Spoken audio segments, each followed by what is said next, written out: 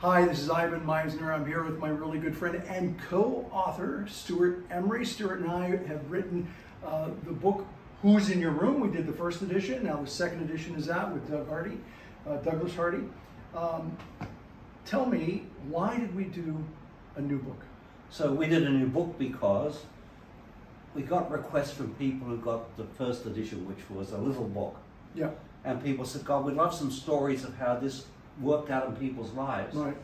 And then we'd like to find ways of integrating it into our own lives. So we assembled compelling stories as well as reading the book just for the stories because they're great A lot stories. of stories. Lot of we went from 15,000 words to 45,000 words. So the book has been greatly expanded. So even if you've seen the first edition, take a look at the second edition because it's really a substantially bigger book. But what blew me away is how good the exercises turned out to be because Yep. you can take these processes, these exercises, these things you can easily do to know yourself better than you do today and become the best version of yourself tomorrow to build a more successful life for your future. Yeah, the exercises are completely new. Every chapter's got some exercises for you so that so that you do create the room of your dreams. Yeah. And create the, the life, life that of you your want. dreams, That's exactly Absolutely. right.